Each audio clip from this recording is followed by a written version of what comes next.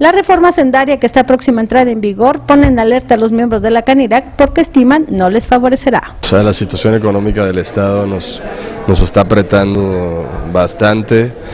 Eh, hay preocupación con, el tema de, la reforma sendaria, ¿no?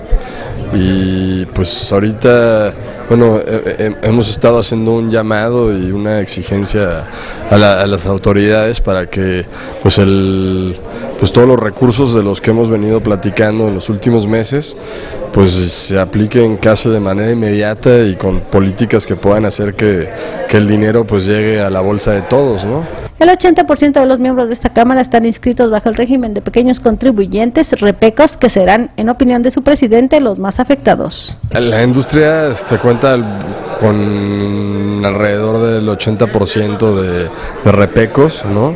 Que, que, bueno, que ahora van a tener que de alguna manera este, pues cambiar de régimen, lo que va a implicar pues nuevos gastos, o sea, hay muchos este, micros y pequeños restaurantes, torterías, taquerías, que bueno, que yo, o sea, hacemos la pregunta de dónde van a sacar para pagar la computadora y poder facturar electrónicamente, ¿no? O, el internet este, cada mes o los gastos que pudiera generar un contador. Entonces, en ese sentido, bueno, estamos pidiendo pues de los fondos de apoyo que tiene el, gobierno federal, este, que a través del, del gobierno del estado, pues nos, nos puedan brindar el, apoyo para el año que entra y poder apoyar pues con esos equipos a, los que los van a necesitar, que hoy no los manejan. El impuesto al valor agregado es un pago que no tienen considerado y que deberán cumplir. Van a pagar eh, IVA este, de manera bimestral.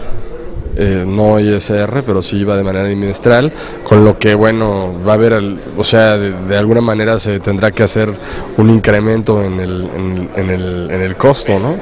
porque digo, yo no sé si están esperando pues, que lo absorba el restaurantero. Yo creo que en, una situación económica como la que estamos viviendo, en lo particular nosotros en nuestro estado, pues no, como se dice este, popularmente, pues el horno no está para hoyos, ¿no?